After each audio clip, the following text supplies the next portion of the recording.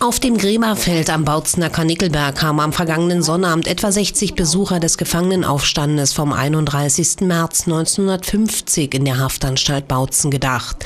Damals war der erste und größte Häftlingsaufstand in der DDR brutal niedergeschlagen worden. Viele der gegen die unmenschlichen Haftbedingungen im Bautzener gelben Elend aufbegehrenden Gefangenen wurden schwer verletzt. Im Laufe der Jahrzehnte geriet der Aufstand in Vergessenheit. Die Geschichte des Lagers und und Gefängnisses war in der DDR ein Tabu.